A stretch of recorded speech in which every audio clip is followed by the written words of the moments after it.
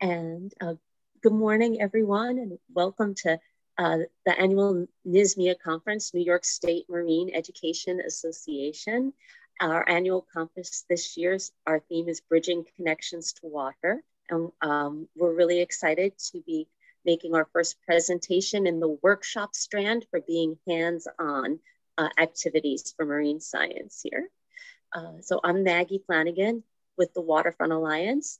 We'll be making the first workshop in this series of um, panel presentations and will be followed by NYC H2O and Kingsborough Community College. Um, we'll also be adding great ideas that can be used for hands-on activities um, with students, families, distance, remote. I think everybody's trying to do it all these days. Welcome everybody, welcome. And uh, if you um, uh, have a sheet of paper and a pencil handy, any colored pencils or markers that might be handy, feel free to run off screen and grab them real quick for our activity this morning. And I'll let my uh, co-presenter Jake introduce himself next. Uh, so my name is Jake. I'm the program associate here at Waterfront Alliance. I kind of do anything ranging from education to teaching with Maggie to kind of helping with like technical support and all the conferences and symposiums that we do, which is what I'll be doing today. Um, yeah, it's a pleasure, pleasure to see everyone. Great, thank you all. Um, uh, so in the interest of time, uh, uh, I would love to keep us moving, but I, I, I really appreciate everyone being here today. So if you'd just like to, I, you know, say your name and identify the area of education you work in um, or something like that really quickly, I think that will also help our Q&A be more rich as we go through our workshop. Um, and maybe I could just kind of call on folks on my screen in uh, clockwise order. Sarah? Hi, I'm Sarah Richards. I am finishing my 34th year of teaching at St. Anne's School in Brooklyn. Uh, the school goes pre-K through 12th grade. I teach middle school and high school science, all water-based themes. I, this year in high school, I'm teaching um, oceanography in the fall and I'm finishing up my meteorology course in the spring. Um, and I am uh, the treasurer of NYSMEA, as well as the conference coordinator. Thanks. Thanks, Laurel. Hi, I'm Laurel. Um, I am an informal educator at Lamont Doherty Earth Observatory. Um, I have a background in marine biology, so I used to teach a lot about coral reef conservation down in Florida.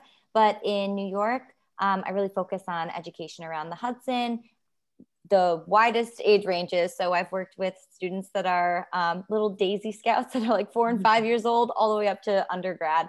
And, um, and then we also teach a lot about climate change and sea level rise as well. And for um, Williams Ocean, would you like to introduce yourself? No, that's okay. That's Getting Lee, hope. Lee Williams. Yes, yeah, who's um, our NYSMEA member with us, right? And hopefully getting her paper and pencil. Excellent.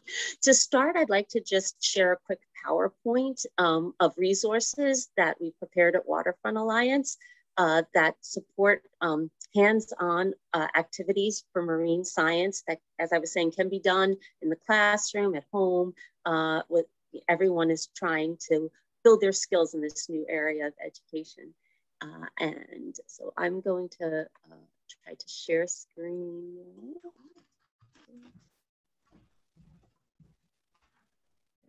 And uh, how are you folks doing? Is it working on your side? Yeah. Yep, looks great, Maggie. Yeah, looks good. Thanks. Thank you all. Thank you all.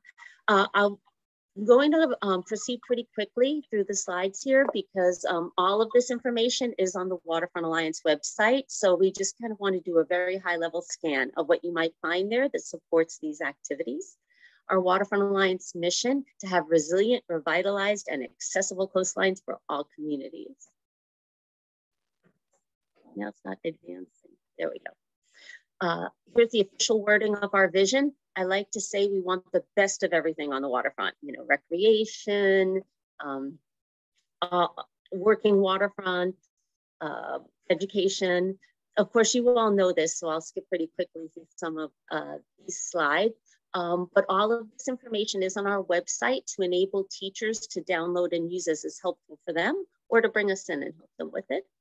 Uh, one thing I just want to point out about, about the image here, I like this image from the Army Corps of Engineers because it really identifies the many component waterways of our estuary.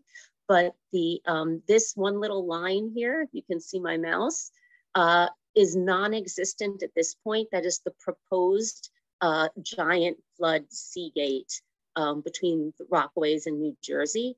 Um, that doesn't exist yet, but it is also that um, kind of imaginary jurisdiction between the ocean and the inland waters, which of course is actually mixing, as we all know, um, as uh, folks who work in marine education about the estuary.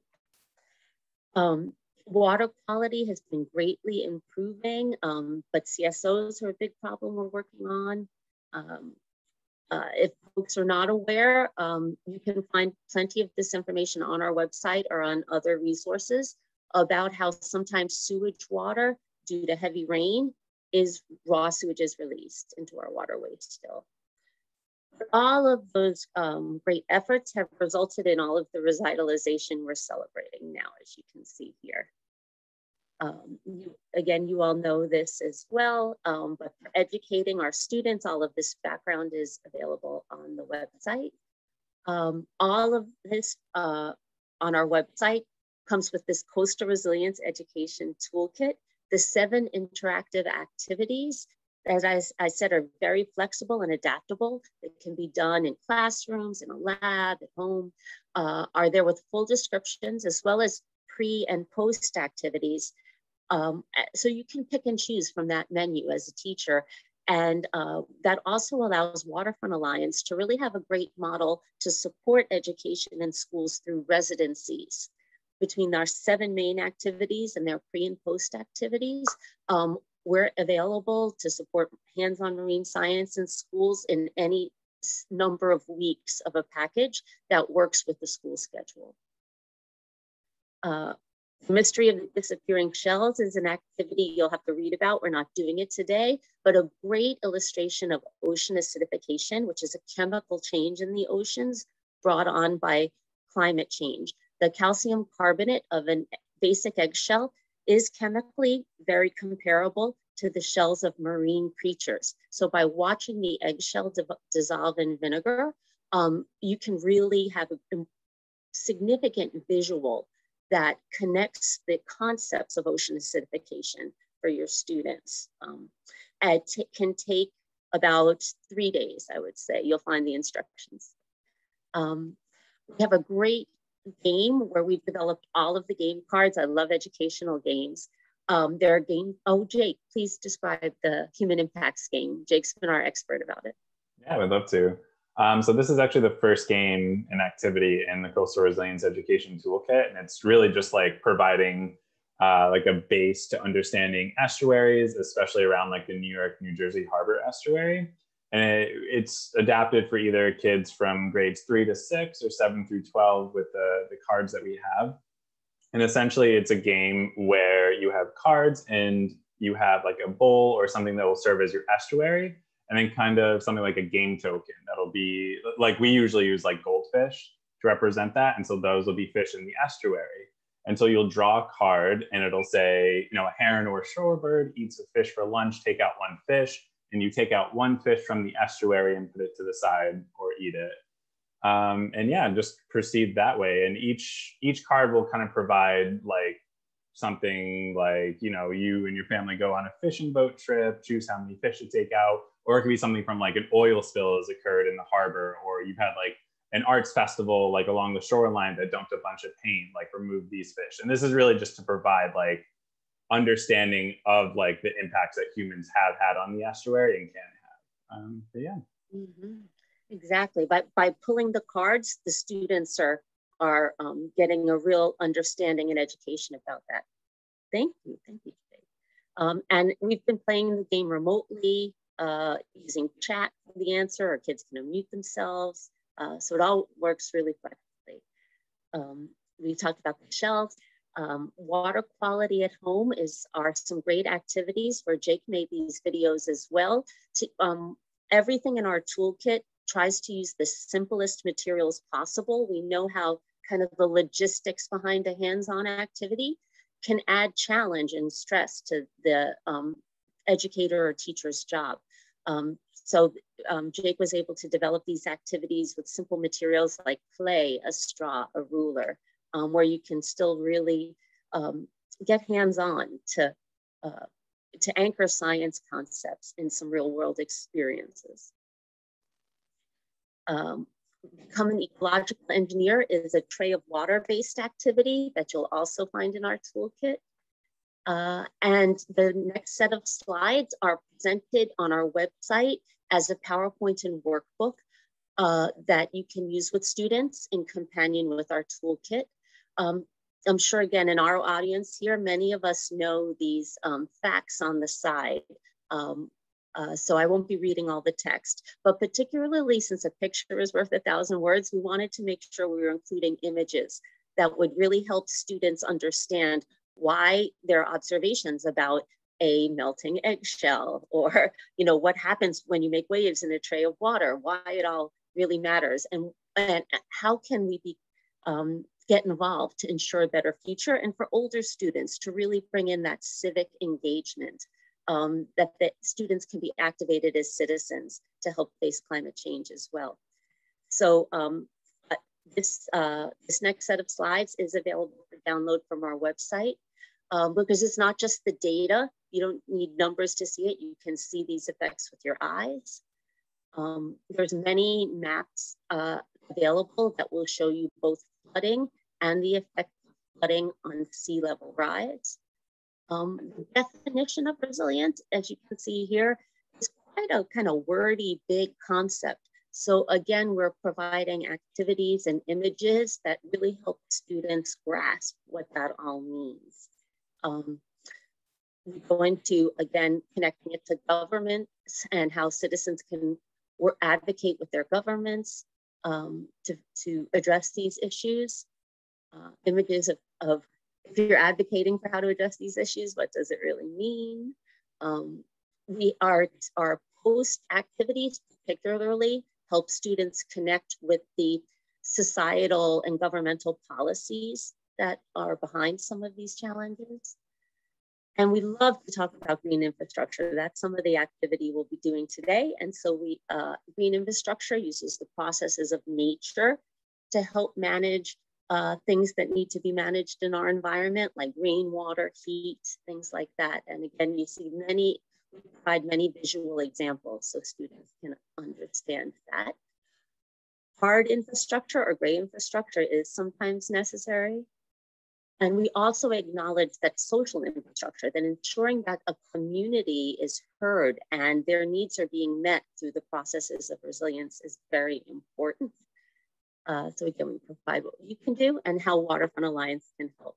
So, um, thank you all for letting me share some of that background information. And as we go through the set of workshops today, um, and I can uh, catch up with typing, uh, Jake and I will be posting um, the link into the chat for you all. Uh, so you can access our website even more easily. So um, we also have an activity in the website that I'd love to try with you called Neighborhood Water Budget. So in the end, just to, since we need to move quickly, I'll show you, I did a couple of examples. This is my block's neighborhood water budget. Might be hard to see. um, oh, it is, I'm sorry. It's my drawing in pencil uh, of my house with what's green and what's concrete or asphalt around it. Um, you can also do it neighborhood wide. This is my neighborhood wide one. You can see it with water on it. And um, we'll fold the paper to create a chart and then um, use a numbering system based on percentages to give ourselves a score for how um, our green infrastructure works in our neighborhood. And if your students are old enough, um, the vocabulary of permeable surfaces and impermeable surfaces really matters here um, as well. Uh, so I'm sure you all know when it, it, when it rains on hard surfaces, you get even more flooding. And when it rains on absorptive surfaces, you're taking advantage of those green infrastructure items. And that effect doesn't just happen at the waterfront. Even if you're blocks away from the waterfront, your green infrastructure and your neighborhood water budget actually matters to coastal resilience during storms and flooding events. So if you all would like to get your paper and sketch your own little, and I'll use a pen now since mine is easy. Um, you can choose to select your block or a stretch of neighborhood that you have. Um, I, I advise folks for, um, I, I found that for simplicity, uh, things like sidewalks and streets are almost best to kind of leave white and leave it the negative space. I wouldn't want to um, impose uh, art uh, rules on students too much, but it, that's a, a, tip you can give them if you like. And uh, go ahead and draw out. Uh, I'll do my block again in pen so you might see it. Uh, are you going to do your block or your waterfront, uh, Sarah? I'm doing my block and I'm trying to remember where the tree pits are. I think there's one to exactly. the left and one up the block exactly. exactly. Exactly. That's what we'll get to. What I love about this activity is um particularly, you know, developmentally with younger kids, you can start at your block and then maybe move to your local waterfront because that community connection, that, you know, my place in the world sense of place connection is particularly important um, with younger students um, in a developmental approach to education. So I started by putting my blocks, my the buildings there, as you can see. and then if you um, at, uh, sketch out your buildings, then you can add the green spaces that you know, if there are any um, gardens, parks, um, that kind of thing. And Maggie, this would be a great activity to do like on a on a very short field trip. Let's take your your mm-hmm. out on a walk, mm-hmm. and maybe if you can even like pace it out so you get a little bit of measuring going on and to scale, that would be good. Yes. I was, um, it says that in our toolkit. I put it on the side here, okay. but um, you can get as math heavy uh, yeah. as you'd like mm-hmm. um, in this activity. Um, and so it can be done quickly as a field trip, or it can be done um, you know, over several lessons where you're setting up a scale and the students are getting heavy in, into the math, if that's a goal in your own curriculum mm -hmm. as well. Um, so don't forget the tree pits and the gardens. And um, uh, I've, I've selected with you all now to do the activity um, less informally with less math um, because it enables us to get into um, some of the vocabulary quickly as well. Um, that uh, the um, uh, as as our world is responding to this these needs for flood control and water management, they're creating things like permeable pavers and permeable surface um, asphalt and things like that. There are ways that you can still have a sidewalk, but it is more permeable to help manage stormwater, that kind of thing. Um, and uh, bringing in that vocabulary or even after the students are done, saying what could be done to improve the permeability here. So I've got my trees and my buildings. I am lucky we have gardens in front and back of mine, definitely. Could, um, does anybody else have one they want to share and show? Have you tried it? I can share mine, although it's on yellow paper, so you might not be able to see it as well. Yeah. Oh um, yeah. Okay. so I live on a pier and um, our roof has green space on top. Mm. Um, and then I mean I live in Weehawken. It's a very like urban area. They have planter boxes and like a small grassy patch, but really um it's it's very hardscaped and they're just you know the whole area going right into Hoboken is lined with seawall. Um, they, we do have like a small beach, but it's like way down this way. Um, but then all this is water. so I don't know how well I, I score in this activity. Great. We're going to find that out next. We okay.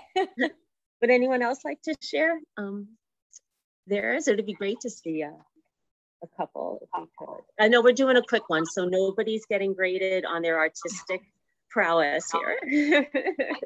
Maggie, I like the idea that if you do this with your students at the beginning of the year, you could actually follow it up in places you go with them. I'm thinking ahead to when we can do field trips again while we're waiting for the bus or something like that, having them quickly sketch out what's the what's it like here compared to where we go to school or where we live because they'll have already talked about this uh, you're doing right now so it would be fresh in their minds it'd be neat to compare different places how did this place make it green. Yes, yes. To That'd do it over really time would really enable that. All right, why don't we do the next step? I, I do a folding trick to divide up the grid on uh, the paper um, to enable us to kind of get a green infrastructure score. Uh, but as you guys are saying, there are many, many ways to try to um, do this activity. Uh, but uh, based off simple power of 10 math, if you fold your paper like in half the long way, like this, and, and then take each side and fold it into the middle so that the empty space in the middle is about the same width of the two the other two sides. It's about two inches you're looking at in the middle. Again, you, you could use a graph paper and ruler to make the math completely accurate, but you can do it this way and, and still learn from it, most definitely. So it's kind of gonna look like this. Now take your two wings and on, on where they meet, just fold that back. That'll give you another crease.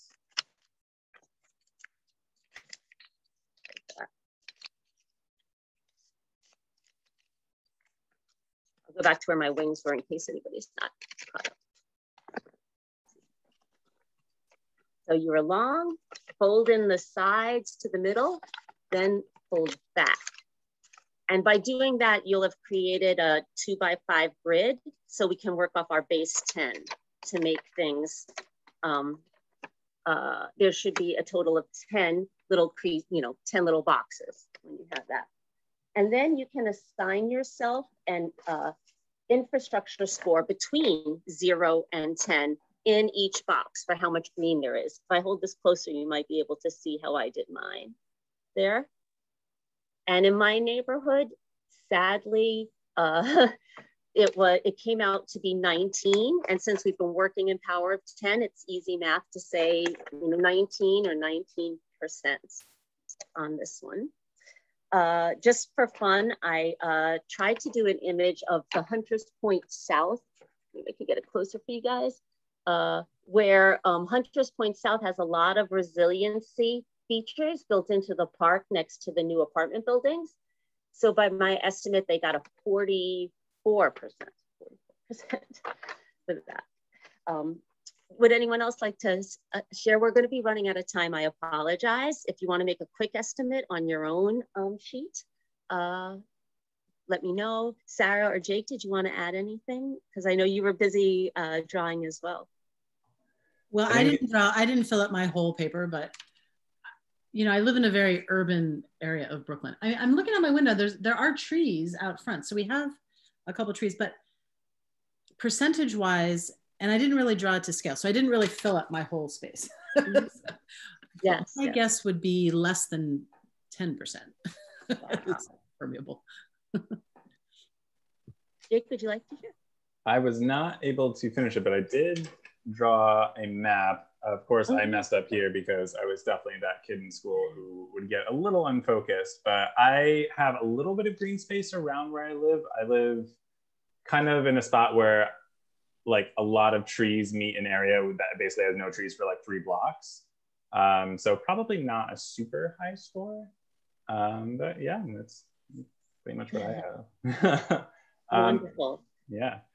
Um, we're, uh, we're in our question, uh, we're approaching our question period now, but if I could just share screen with you all one more time, uh, since we want to increase education about green infrastructure, I was able to capture some photos of the um, Hunters Point South project, which is um, what we call WEDG certified at Waterfront Alliance. Um, Jake and I have colleagues who work with developers and designers on, um, on these kinds of issues. Are you all seeing a kind of peninsula that's under development? Great. Yeah, we can see it. Mm -hmm. uh, it. This photo is a bit old. There are now uh, towers going up in the footprints where you would expect to see buildings.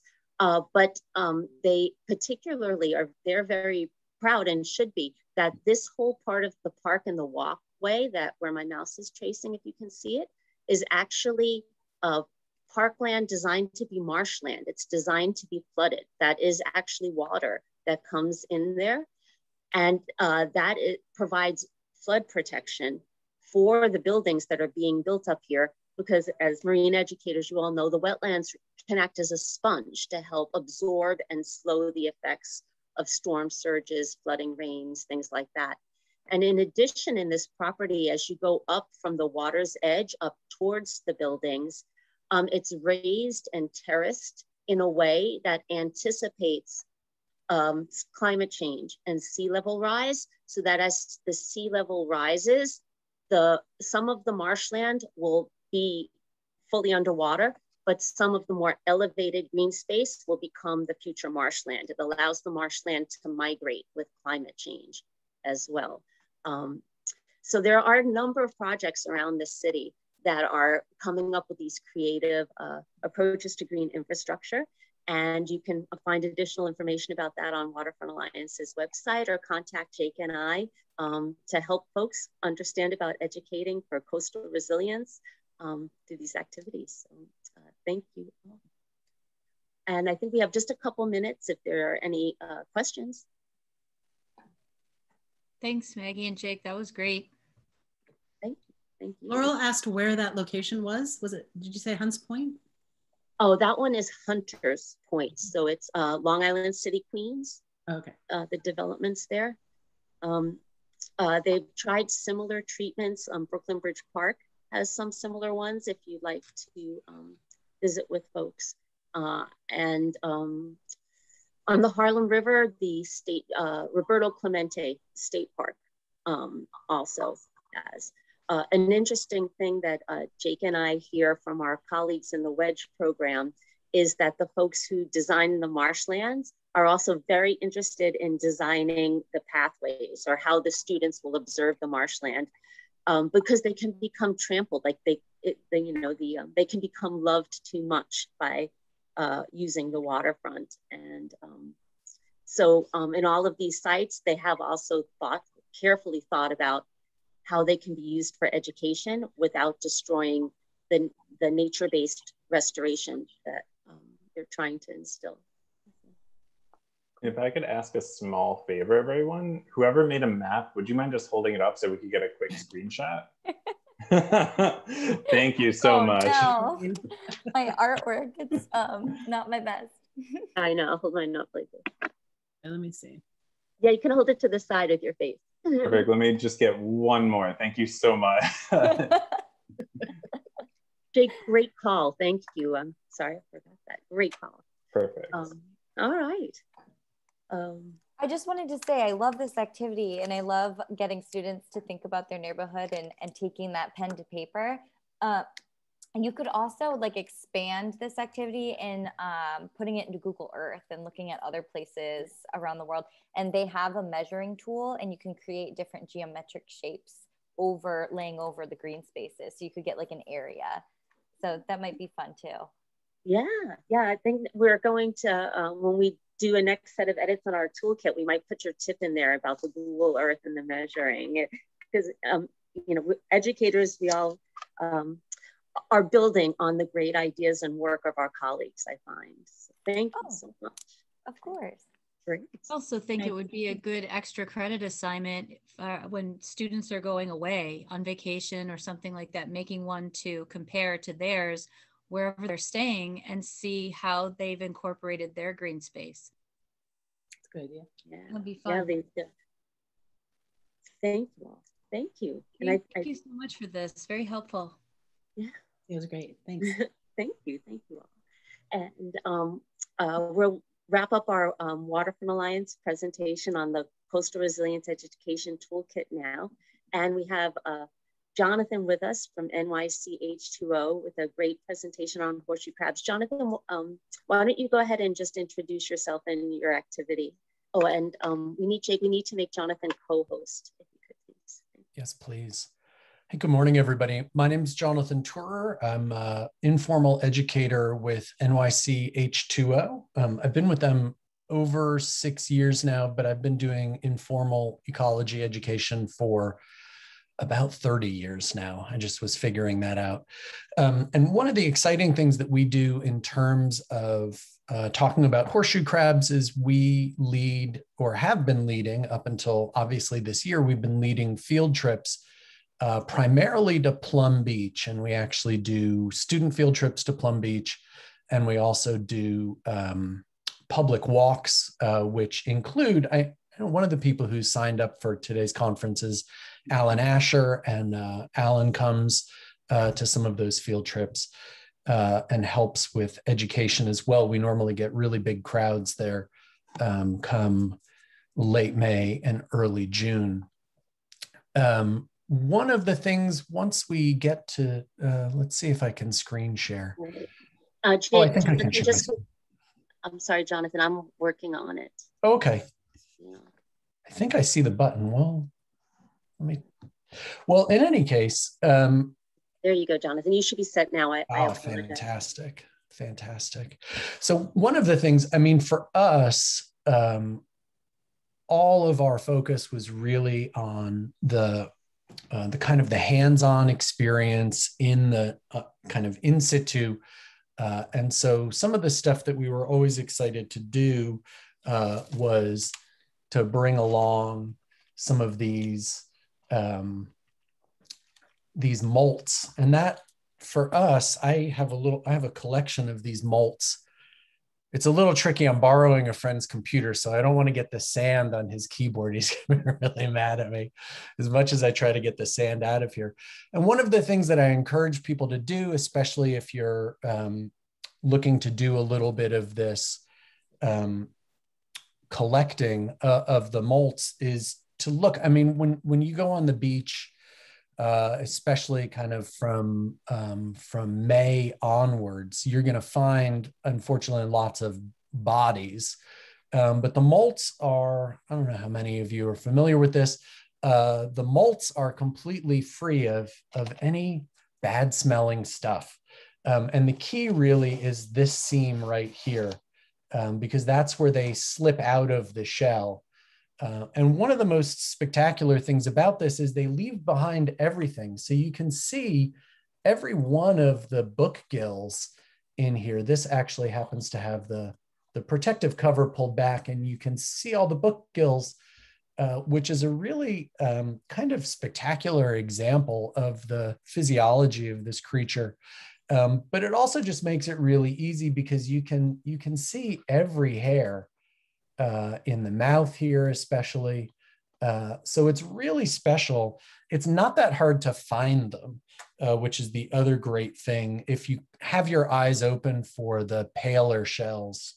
Um, and so just like I was showing, I've got uh, this sort of older one. This is maybe getting close to, I don't know, five or six years old, but I've also got some of these smaller ones all the way down to this. I'm really, I'm losing this one. This is uh, probably within those first kind of, maybe within the first year when the horseshoe crab molts uh, six times. So the thing I wanted to do, obviously we've not been able to do any of these uh, live field trips. And so it's been um, pretty difficult for us initially until we decided uh, let's see if this is going to be.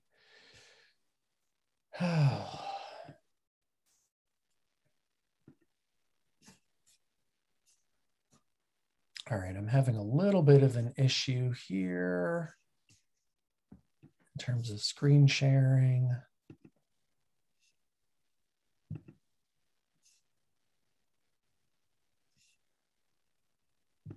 Give me just a second. I apologize. Oh, that's that's fine, Jonathan. Um, they're great resources at NYCH2. I've been on your story maps website yes. as well.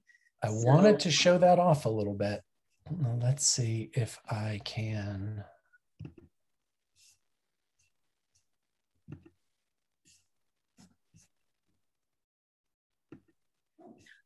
Why don't you go keep, um, we'll keep chatting while you keep um, looking definitely no pressure. We understand technology. Um, uh, even though we've been all been at it uh, for almost for about a year now, you know, it still presents challenges. So yeah.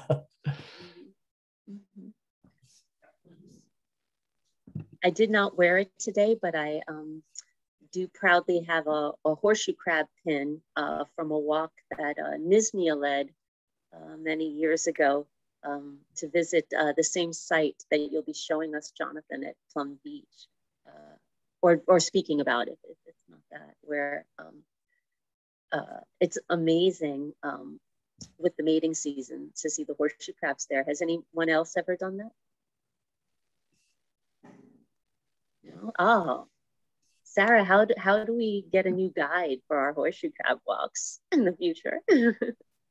a new guide um, um, besides Jonathan? Uh, no, no, for the walks um, that uh, I'm pretty sure it was a NYSMEA walk that uh, one of the NYSMEA uh, active members led on the shoreline. Well, Eagle has led some, and yeah. Alan Asher has led some. Yeah. yeah.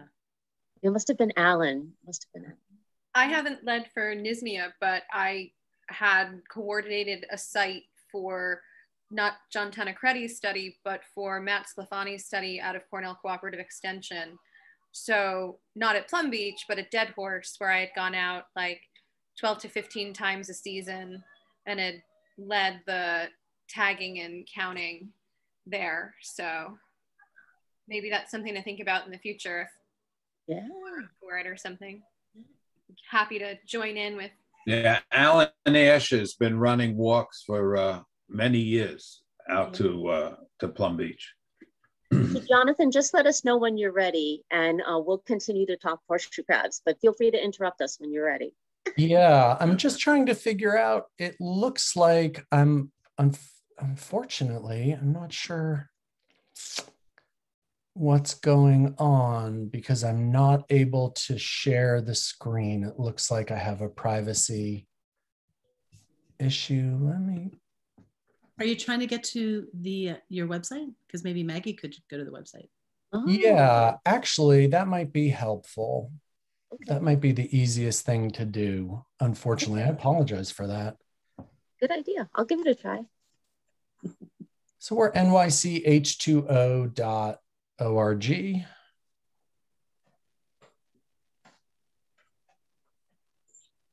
Make sure it comes up first before I attempt to share.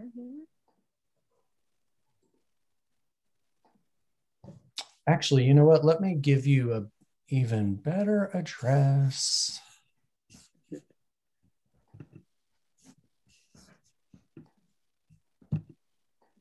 Let me give you NYCH2O hub, H-U-B dot O-R-G. Okay.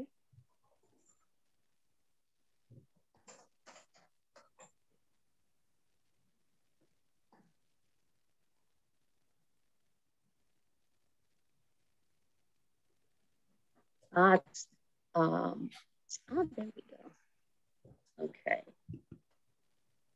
Let's see. Uh, let me see if it will work on this.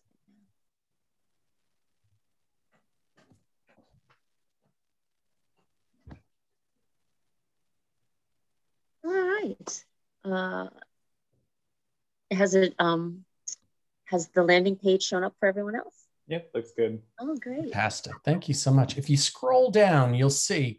So, what we started doing, um, we kind of did two things at once, and I think we'll be able to focus on the hub a little bit.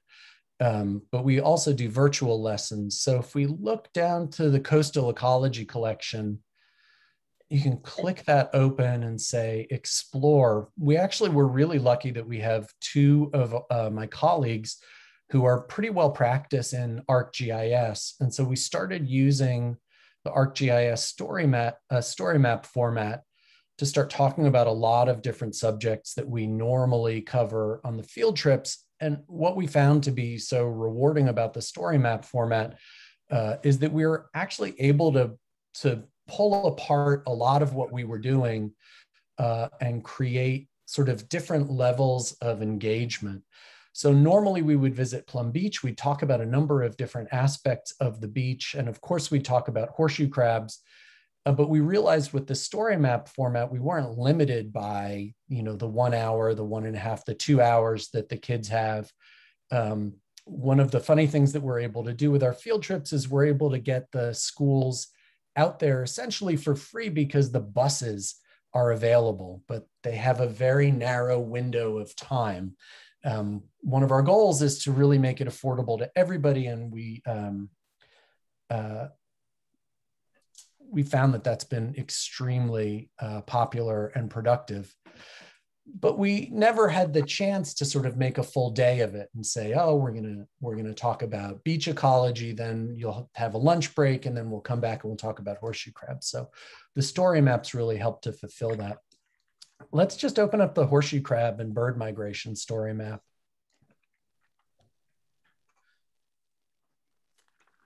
That's probably going to take a second to load, but uh, one of the other nice things that we were able to do, um, I've been photographing Plum Beach for 25 years now. Um, and so we were able to use a lot of our own proprietary photographs, but also we've been able to go and find photographs from uh, that have Creative Commons licenses uh, off of Wikipedia. And so, for example, I was able to bring home uh, well, I mean, you know that I have this molt, and I was able to photograph this molt at home uh, and include some of this, what normally would be hands on, include this in our story maps.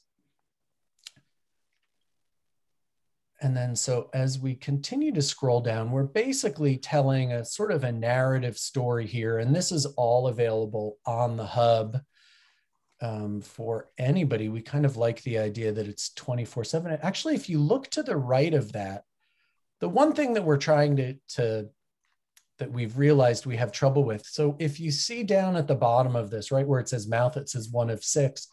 And if you look over the right, there'll be a right arrow. And then so you can continue along Sorry, Jonathan, I, I have all the Zoom windows open too, so I can't uh, oh, yeah. You, did you want me to click somewhere? Oh, yeah, continue scrolling down. that right arrow. Uh, the, oh, that right arrow. Yeah. Yeah, we've realized we need to tell people a little better how to navigate this. So we're trying to include a little bit of a, a um, tutorial in our in our homepage on this. But then you can continue to move along to the right, and it's kind of like a, a sidebar to the narrative flow that we have. Um, and so, kind of before we go to the next, and this is one of my personal favorites. Um, you know, being able to show the kids the compound eyes, and we talk about how there's all these other eyes, but the compound eyes really get the kids' attentions, especially since they're very familiar with the idea of like flies eyes being compound eyes.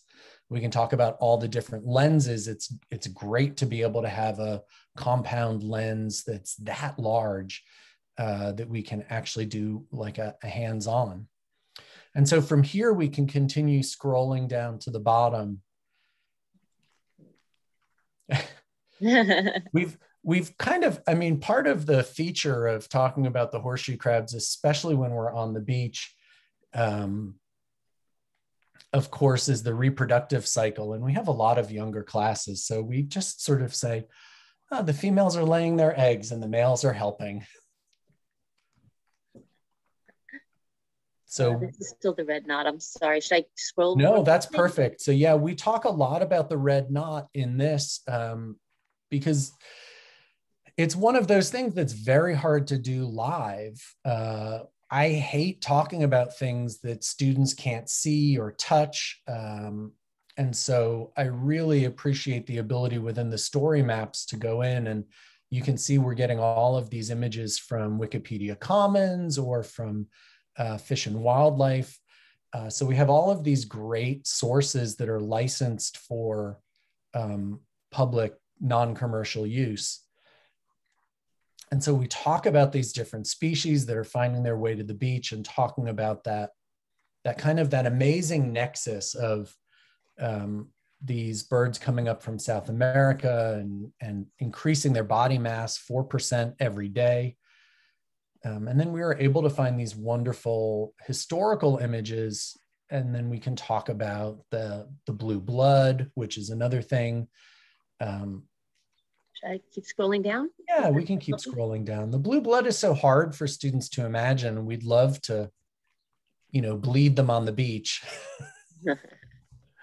to have one you know, lucky volunteer of a horseshoe crab. But, uh, you know, it's wonderful to be able to use these images within the story maps. This is our only real cheat image that didn't have anything. That image of the scientist, we really wanted to have something um, of, uh, of was it Keffer, uh, Keffer Hartline, who won the 1967 Nobel Prize regarding um, you know, uh, uh, the compound eyes of the horseshoe crabs, or we wanted to have something that was a good representation of the um, the LAL acquisition process in the labs. We just couldn't find anything that was publicly accessible. So we just had this one little cheat of the generic scientist looking at a test tube, which we got from the US FDA. We have some some really great photo researchers and uh, ArcGIS folks on our team. So they were able to track that down.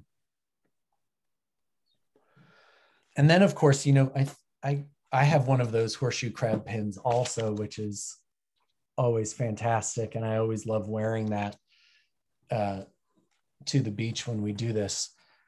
And we've actually had a couple of um, of teachers who've been able to log in uh, to the Fish and Wildlife Service program and get one of these one of the uh, little uh, certificate of participations for their class based on what they found while they're with us. And so actually, if we could jump back, well, we have this one thing, it's really interesting. If we keep scrolling down, you know, the ArcGIS programming is really all about mapping. And you'll notice for this story map, we didn't really have a lot of mapping. And so our uh, our ArcGIS folks said, well, we really want to have a map in here. So we took um, some of the, uh, the research locations uh, for horseshoe crab counts and we, we just map them out. So if you click on any of those boxes over on the left, uh, it jumps to a different monitoring location. So that was, our ArcGIS people were really like, we need to have a map in this. We can't just do this without a map if we jump back, um, so if we go back up to the hub main page, uh, let's see, let's jump up to where it says coastal ecology. I think that'll get us back to our coastal ecology collection. Let's see if that's a live link. It might be, um, uh, I have a lot of windows open on this computer, so it, it might also just be uh, slow because on my side too. I apologize. Yeah, that's the that's the one downside that we found with the ArcGIS system um, is that it is a little bit slow to load. I don't want to keep clicking it because then it'll only slow it down. Yeah. So one of the other subjects that we talk about for Plum Beach is we do address some of the coastal erosion and we talk about some of the infrastructure that's been built there and we talk about some of the potential alternatives and again i'm i feel very lucky uh, to have been at plum beach for a couple of these different sort of milestone moments over the course of the last 25 years that i've been documenting the ecosystem there just for my own personal project um, but if you look at the satellite view you can see some of the more recent army corps of engineers uh, interventions that have taken place. And it's interesting, you can see that point um, that's been generated. Um, yeah, right by right behind the breakwater, which has created that really interesting uh, kind of shoreline shape.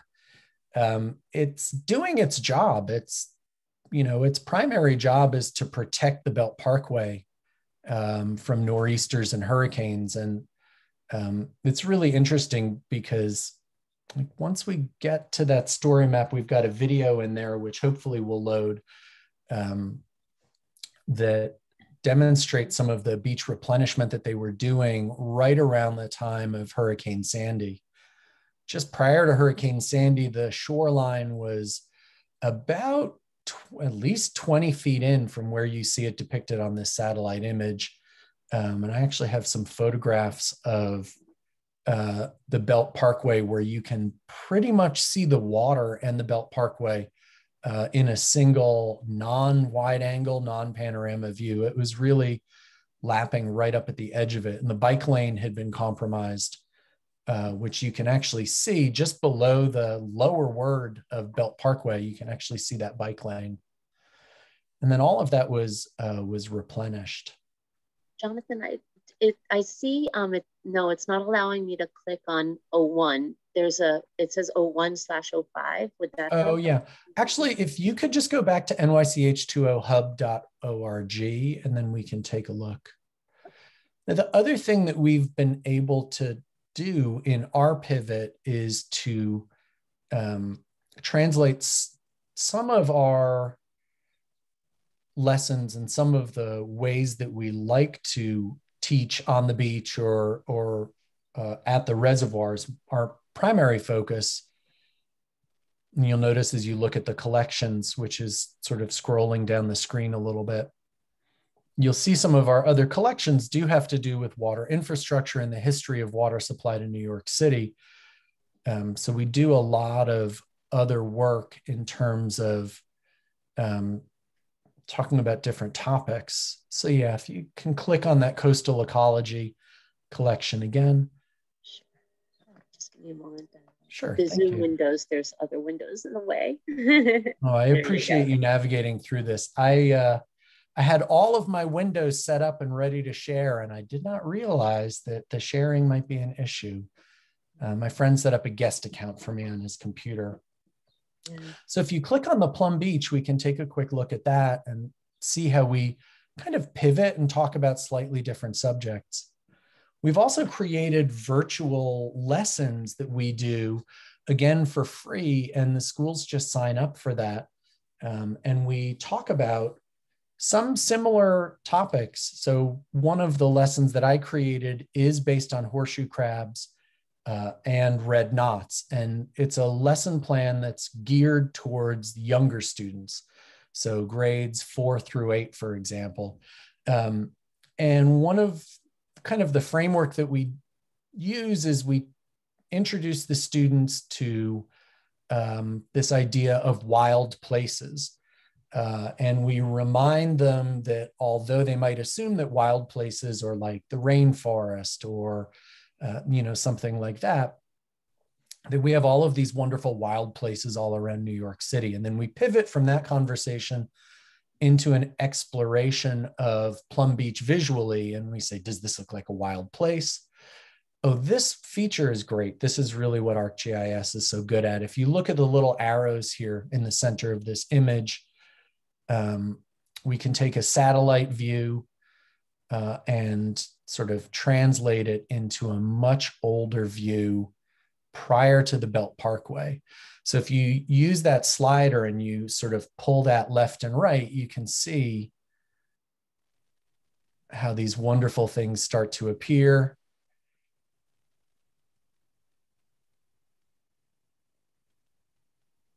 Am I going too fast? Am I making you dizzy? No, that's perfect. One of my favorite things that shows up just personally is the Coney Island Jockey Club down there in Sheepshead Bay on the old map. And you can see how Plum Beach actually in this map is depicted again prior to the Belt Parkway. It's depicted as Plum Island. And you can actually see Hog Creek, which was the body of water that separated Plum Island from the rest of Brooklyn. So that's kind of fun. And we talk about how it was connected by Robert Moses, who else? None other than um, our master planner who created the Belt Parkway and intended for Plum Beach, now a beach, no longer an island, to be uh, in his initial plans for the Belt Parkway. Uh, he, he intended Plum Beach to be a stopover area. So, from the very beginning of this roadway, this was meant to be a place that people experienced um, within his road based infrastructure meant to experience as a natural place. So if we continue to scroll down, and I think I'm almost at my time, um, but I did want to just mention that one of the one of the things that we think is a lot of fun is we take the students through, we introduce them to Plum Beach, we take them through a brief introduction uh, to uh, horseshoe crabs, a brief introduction to red knots, connect the two of them together with the red knot migration occurring uh, at exactly the time when horseshoe crab spawning is taking place. Uh, and then ask the students to imagine a world where the horseshoe crabs and the red knots are both tech savvy and have smartphones and are either talking to each other. So the red knots are talking to the horseshoe crabs, the horseshoe crabs are talking to the red knots, or talking within their groups uh, on TikTok. I, I'm trying to get the kids to enact a TikTok dance as a red knot or a TikTok dance as a horseshoe crab. They're getting close. I've had a couple of groups that have almost been there. Um, they far prefer to imagine, oh, this is some of the, the imagery that I was able to get. And so you can see the bike lane on the left here and the encroaching shoreline on the right. So all of these sandbags were placed there after a particularly bad nor'easter ate most of, of the beach at Plum Beach. And so that intervention by the Army Corps of Engineers was really pivotal. I, I, argue that had they not intervened, had they not gotten the budget appropriations when they did, uh, and been able to implement uh, that replenishment, that at least the southern half of the Belt Parkway would have been destroyed in Hurricane Sandy. Um, because you can see how close it, it, it really came, and we know the impact of Hurricane Sandy. I think that that most of the the eastbound Belt Parkway would have been undermined that day because that breakwater, uh, I think, did a lot. So we talk about in this story map, we talk about how one of the options would have been just steel, uh, a steel wall, essentially. Uh, I went, we were able to go back and find that as one of the initial proposals. And we like to present that. And we say, wh- why is this you know, intervention of the groins and the breakwater. Why is this preferable to a steel fence? Um, and we usually talk about that after we've discussed all of the different uh, members of the ecosystem at Plum Beach. And uh, we find that most students are able to make that connection pretty well that with the steel wall, there's no beach, there's no, um, you know, uh, there's, there's really no more ecosystem there. And we were able to get video of some of that beach replenishment happening. So we can show the students that. Um, but so that's how we actually pivoted during COVID to really translating into what we felt was a, a visually uh, robust and engaging um, way of interacting with students uh, through Zoom and online um, whether it was the sort of 24 7 accessibility of the story maps, which we've really been working hard to push out uh, to our community of engaged teachers who've been working with us for the past um, seven and a half, eight years, uh, to being able to offer these live Zoom based uh, class lessons that are really, we spent a lot of time creating them uh, so that they would be able to fit within that 40 minute window that we find most teachers are able um, to provide us. Great. And so I'm open for questions. I do apologize. Uh, I was sort of hoping that this would be a little smoother, but um, I thank you so much Wonderful. for thank you. helping out maybe, and scrolling through the hub. Maybe perhaps um, eh, uh, folks have heard the website. Maybe you could post um, your website yeah, or email in the chat and uh, folks could continue any specific comments or directions that way. Um, Absolutely. Uh, because we're geared up uh, for Tom Green and Kingsborough Community College um, to uh, um, share some of their uh, recorded educational materials for us as well. Another way that us marine educators are working um, to keep education going in all these different platforms now. Maggie, I'm sorry, isn't Tom's thing at 1.30 and Godwin is right now? Oh, thank you so much. I, I, I apologize. I was kind of nervous about the videos, so I was. Um, You're eager to go. You have another couple hours, but Godwin would like to start now. okay. Yes. Thank you. I apologize. Uh, uh, Fantastic. Thank you so much. Thank you, Jonathan. Thank you, Jonathan. Thank you. I'm just finding Godwin to make you a, a co-host now. If you'd like to share anything. Unmute. All right. I don't know if anybody's switching in or out between sessions. So just if anybody needs just a, a one minute break to get it, stand up, whatever, you know. Um, I'm going to be talking about hands-on things. So I will tell you, I would love it if you would get a piece of paper, at least one piece of paper, scissors and some tape, if you happen to have it. I'm going to do some simple things, but that's my area of expertise is getting people using their hands and not just looking at a Zoom screen. So go ahead and get some paper tape and scissors. And oops, and I am going to, I don't know which screen I'm even sharing here. Uh,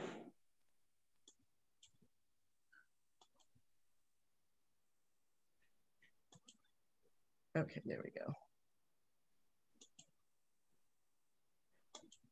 so I can see if that is, okay. Okay, if you guys are ready, I will. So um, what I'm, I'm gonna talk about something that's just more generic um, and I'm, I've included, I focused on bridges, uh, partly as a little play on words, uh, uh, the conference name, and then also um, because many waterways have bridges involved with them. Um, I'm just going to wait another minute or two. Does anybody else? I know that some of you have turned off your screens, so I just want to give you a second to see what I've got. Um, so I run a program in New York City. Sarah knows me and um, several people. I've been part of NYSMEA for a long time. I'm part of NSTA, I always participate in the Marine Educator session at NSTA. And I'm in New York City. I'm on the Upper West Side. I run a makerspace. Here, let's go to those. let's go to my, there. So I run an informal education program on the Upper West Side. It's got, I've got, I actually have two physical spaces, one called Dazzling Discoveries and one called Skill Mill NYC. And Skill Mill NYC is a, a kind of a makerspace open to the general public. So we do a lot of work with teachers. Um, we do everything from teachers come in for training, for learning how to use microbits and 3D printers, um, to class trips where we do activities it's all hands-on. My whole world is focused on hands-on. And I've been able to take this Zoom world and make it interactive and hands-on. So our Dazzling Discovery Space, it's a physical space on the Upper West Side, is aimed at elementary school kids. It's kind of like an elementary school classroom. Skill Mill is on Amsterdam Avenue between 106 and 107. It's a big storefront. You're welcome anytime. I love seeing people. Um, and then over the 20 plus years that I've been running these programs, and it's all science, hands-on, we work with hundreds of schools, work with hundreds of teachers, blah, blah, blah. Um, I've created some products. One is this cardboard engineering kit called Dazzlinks, and then the other one is engineering with paper, which is um, a methodology. We have I'm going to do my tiny sales pitch just right away. So, you know, you kind of get a sense of what I am. We have a lot of free downloadable projects on it, but we do also sell some of them and we've created, and that's what we're going to do today. We're going to just focus on my engineering with paper. So that's a quick overview of who I am and why I'm here. And I've been around for years and years. And uh, so, okay. So a lot of this engineering with paper came out of this basic idea that there are thousands of STEM challenges, Pinterest, uh, Instructables, like everywhere you go, you can find them. But what they tend to do is just assume that kids know how to do things. And because we only have 30 minutes, I'm going to go through this kind of quickly. I usually do this as an hour presentation. Quick look, you can see, read what this says. But this is the challenge. What do you do when you want to give kids any kind of challenge? there's a basic concept that kids will learn naturally. You give them the supplies, you give them the challenge, they'll figure it out. And that's either not true or teachers just don't have time. As you just said a few minutes ago, 40 minutes is what we have. 40 minutes, you can't, it's not really fair to expect them to figure out how to use the materials and how to deal with the challenge. So our premise is what we call level the playing field. if you teach kids how to use the materials, then give them the challenge, you're at least equalizing. You're not, because otherwise you wind up with these kids who come from parents who are architects and know and been building all their lives and they know what to do and you give them stuff. And then you have this group of kids who are like petrified. And those are the kids that really need your help. You know, they need to be given the skills and those are the ones who will often say i don't want to do it or you know and that they don't most of the time i had this actually we did a camp on thursday schools were closed we had a camp day. And this kid goes oh i don't want to do this. And i said to him i said you don't want to do this because you don't know how to do this. And he goes yeah. I said great i'm going to work with you on that. And and it was just like i just i just i just get reinforced on this concept constantly. So teach them some basics. So what are basics? In our case it's paper and it's dealing with folding paper in different ways. That's our purpose. So this is all the material. This has been an amazing um, help to teachers in the past year, obviously, because they were home. Kids had these supplies. They could do hands-on. I have been able to engage. We did several sessions with 50, 80, 100 kids, all doing hands-on projects at home. Um, these are school events. We were hired to do them. Um, I've been running my own classes with 20 kids we get everybody building and they're not looking at the Zoom screen except, you know, once in a while, but they're building, they're working on stuff hands-on. These are the materials. This is an overview of some of the packets that we've created. Some of them are free. Some of them are $12. They're not, they're the cost of a book and you can use them for a whole class. But anyway, so you can see some patterns in here. There's, you should notice some simple shapes. Again, I'm going quickly because I, you know, I know you don't have a lot of time. Okay, so here, whoops, here are some examples of things, and I'm going to show you how to make some of these. They're all really simple. This is tracks. This is our track and cylinder, which we're also going to use for the bridge. This is our catapult. It's a free download. And then the challenge was make something, make a way for the ball to come back. So we taught the kids how to make these shapes, Actually, I will show you in two minutes. And then we gave them a challenge. Here's another example. This is our creatures pack. But again, just keep looking. These are just folding paper in particular shapes. This is our axle project. This is happens to be the this is the vertical axle. We have a horizontal axle, also making windmills. All paper, tape, scissors. And the packets kind of give you this sort of step-by-step -step about how to make the shapes. And then you let the kids do their own inventing once you give them the basics. Okay, so this is the track and the cylinder, and that's basically what we're going to use. And I'm going to have you um, make this with me so that you know what we're doing. Um, so at, for, for the bridge project, we actually need to take a piece of paper. And here's one of the ways that I do this. We're very literal and try to be as exact as possible with kids.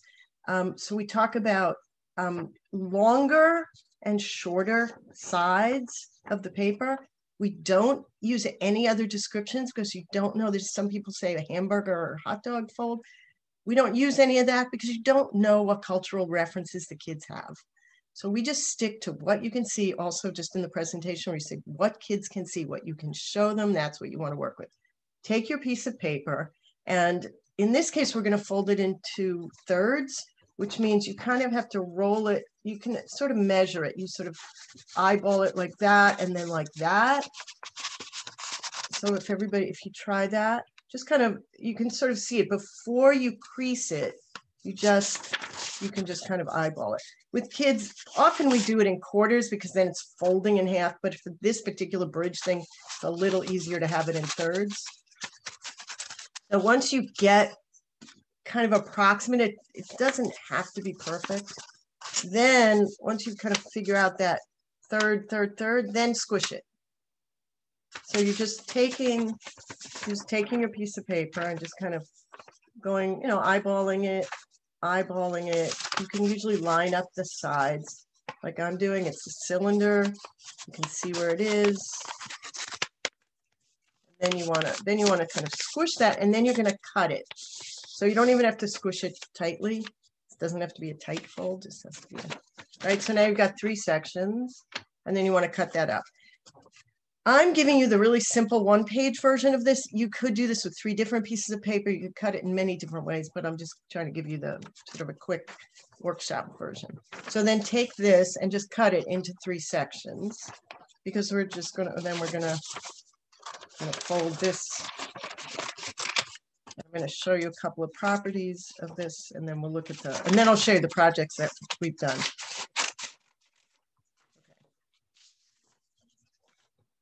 So on the on the topic of bridges, one of the critical things is um, uh, strength of materials.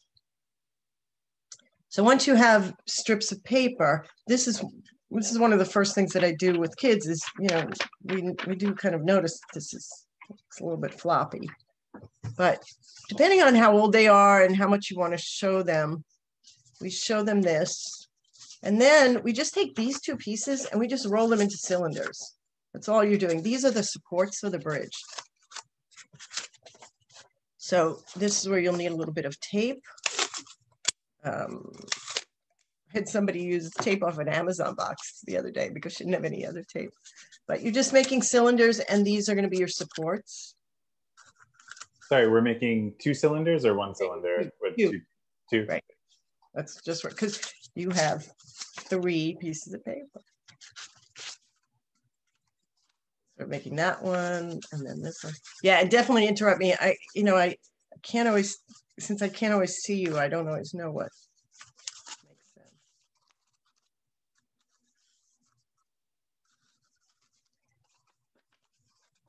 So it depends how much materials science you want to go into. Sometimes what I do is I have the students just make these cylinders and I don't show them about, I save that floppy thing for later. You just have them make the cylinders, cut the paper, make the cylinders, and then I say make a bridge. So basically what everybody does is, you know, they'll take this and just stick it on top of the, they'll just stick it on top of the uh, paper like that.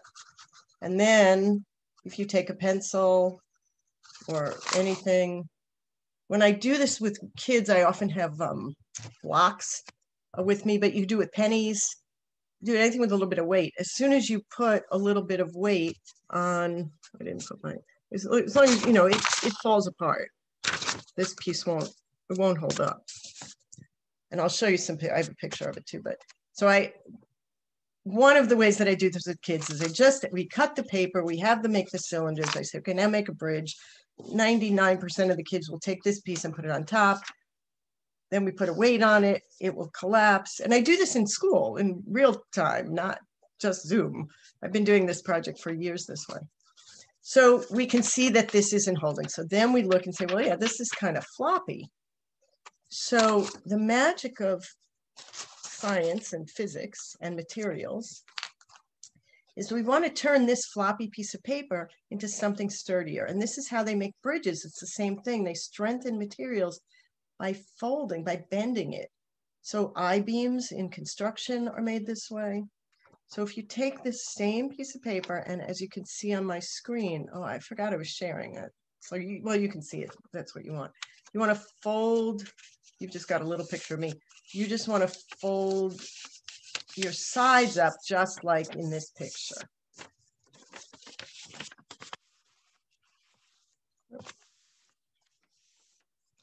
So, does that make sense? Should make, no, sorry.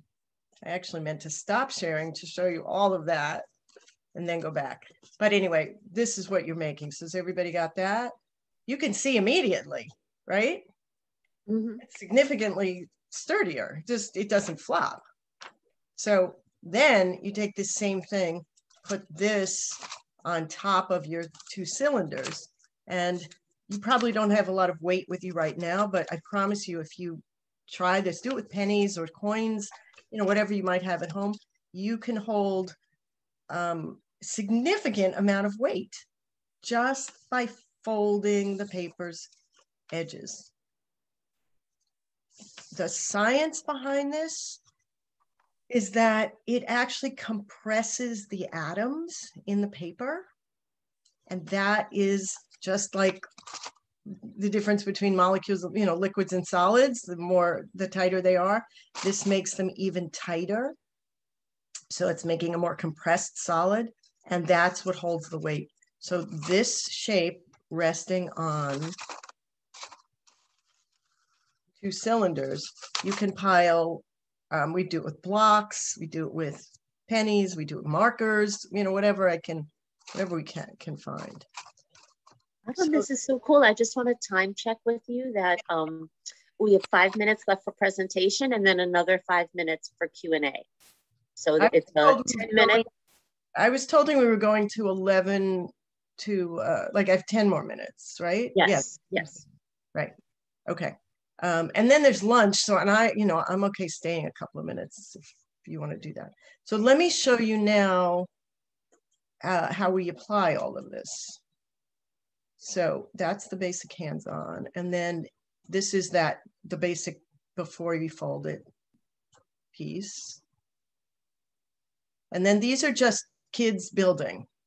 So these are simple building structures. You can make uh, obviously an extended bridge. Um, we don't let the kids tape the track to the cylinders until they've done all the testing. And in this case, they haven't taped the track so much, they, they've taped the base. But we tried it, we don't want them taping anything because you lose the concept of, of strengthening the material. Um, this was a, I have a bunch of um, uh, lifting bridges and, but again, this is one of our project just examples where uh, we used cylinders, you can use rectangular prisms, it's the same concept, something important, and just track. And all of these pictures, there's a, another lifting one, this one we just, you can see we attached a string. I happen to have these funny little pink hand cranks that we used. You don't have to have that, you just pull the string or they could design their own crank. I just had those and so we use them. Um, so these are all paper, tape, and scissors, different kinds of bridges, different models. Ramps at the end, we teach kids how to make curves. This is a suspension bridge. I'm just showing you the levels you can go to with this. These are older kids. Um, part of what I always do is um, we usually start our bridge lesson by showing pictures of real bridges. I just put one in, but you well know how to where to find dozens. There are many, obviously millions of bridge pictures around. So um, we look at just different types of bridges at the very beginning. I didn't want to do that. I wanted to show you the technique first. So this is a little out of order. This um, is a really great exhibit. It was at the um, Museum of the American Indian downtown at Wall Street. I don't know if this is still part of the exhibit. Um, I assume it was permanent. This is in, they have a children's room and they had this fabulous um, piece about building a rope bridge. So if you get to, if you go there or you take students there, it really was, it really was great. It's just a small thing. And then here's the kids putting weights on, on the bridges, building double deckers. You know, once they get the hang of that strengthening the paper, it really works. And again, that strengthening the paper is part of our catapult project. We use that same, those two shapes, cylinders and track. We've got the catapult project is a free download on our website. Uh, I do have a bridge project, which I have not posted yet. That will be going up in the next, I don't know, hopefully next, but next week, which is a downloadable, how to do different kinds of bridges with paper. This is rolling paper into straws and building with that. Well, that's a whole other activity that we teach and it's a whole other workshop that I run, but I know that you can understand it just from this picture. Um, and just rolling paper straws and then building with them. Um, again, these are our packets. As I said, there's some free, otherwise they're, I think $6 to $20 for a packet and you can use it for an entire class. Um, actually, our Build a Playground one has the paper straws in it. This is my cardboard engineering kit that I sell. And remember, 98% of my time is working with kids. I run in-person camps, I run teacher trainings, um, I do workshops like this all the time. I just happen to have invented this and we sell it from our website where it's not on Amazon, it's only ours. but it's it's just been great. It's just cardboard with holes in it. And you can make all kinds of things. This is our skill mill space with kids building with it. Uh, we have beams and shapes. Uh, this is the shapes. And then this is our social media. So if you really want to see what we're doing and get a good peek, please follow us. Engineering with Paper on Instagram, all kinds of projects you can, and we're happy if you can look at this and figure out how to do it yourself and use it, great. Our purpose is not, we're not making money on this. We're trying to get this methodology out there because it's so accessible. And it's great when you go back to the, you know, back in the classroom. It just makes it makes building easier. You don't need to get all these special supplies. Um, are you open for some questions now? Yep, that's, that's it. it. Perfect timing. No, no, no rush. If, if there's something no, we want to share more, but um, uh, do folks have uh, comments or questions? Please feel free to unmute yourself. I love it. Got it. I um love, love, love. Look, I got mine here. yeah, and then we make the kids separate them. Like you can make, the, and again, depending on the size of paper, you can make them longer. But you have to, you know, they like sometimes they'll crunch them up because they have to space under the bridge to show how it works. Yeah. So yeah. I, I, think the point you made at the start about how um, giving uh, children's time with the materials before they're supposed to learn from them um, is uh, a critical piece for hands-on education at times. Um, I wonder if anyone else has experience with that as well. Here, let me stop sharing. Um, yeah, and I don't know what, what grades you teach and, you know, what would be helpful. You know, even when we're um, water testing, sometimes and the kids are just like splashing their hands in the bucket i'm like give them a few minutes. You know let them experience the material in a free form way first and and um, you could see sometimes um, nervousness in some of the adults like aren't we supposed to be doing something with this? You know and um, i'm really glad to be part of a cohort of educators um, that can still draw on the kind of wonder and connection you can make with hands-on materials right like you all. But we do find it's really important to just teach them some of these basic things. And just like I showed you, I don't know how many of you would have known this before. Did anybody ever do anything like this? You guys can just raise your hands. I don't sort of because this is not people don't think about it. They just don't. And the other comment I get a lot is that oh, we work with cardboard all the time. We never thought to use paper. So you know, so I just get a kick out of that one. But um, but paper's amazing. It's the most versatile thing. You can, it, you know, it, it, it can be a fabric like soft material, or it can be a, a rigid. And this is what they do when they make buildings. They make I-beams in exact for exactly the same reason. So, you know, it's just a whole structural engineering concept. Amazing.